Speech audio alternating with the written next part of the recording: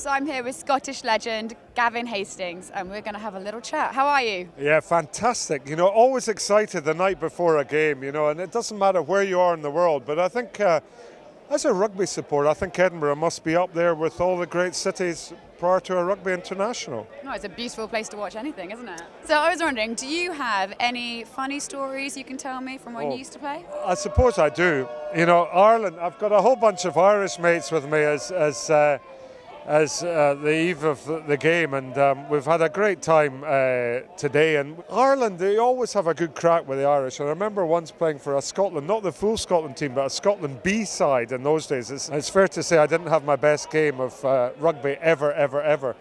And uh, I had a bit of a late night and I missed the plane home the very next day. I didn't get back to my hotel in time and the bus left me. And this is in the days before mobile phones and, and you know, you couldn't just hail a cab, not at six in the morning.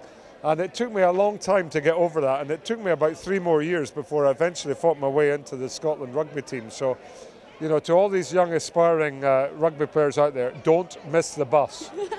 I used to have this twin brother who used to come out after a few pints of the black stuff. What was your twin's name? Did you, did you have an alter? Because I'm Andrew Gavin Hastings, so my twin was called Andrew. He only came out at about two in the morning. Gavin is a much nicer person. So, who do you think is going to win the overall championship? Um, well, you know what? You couldn't uh, wish for a better three games because obviously Wales start off. They've got, I think, the, the they've got the most points to make up, haven't they?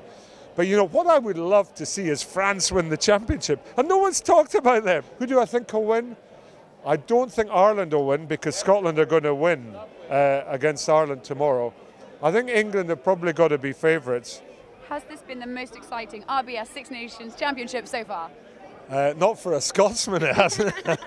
I actually like, you know, I like to see my team win, and that's why I'm just praying for a victory tomorrow. But look, there's been some great games, um, but I'm a passionate Scotsman. I want to see my team do well, and you know, to do well, they have to win games. Um, but I think we're saving ourselves for the Rugby World Cup, so watch out, okay? We're, we're back. Do you think because it's the final round and it's a home match that maybe Scotland might take it home, might Yes! win? Yeah. Yes! Yeah. Are you going to be around? I will be around.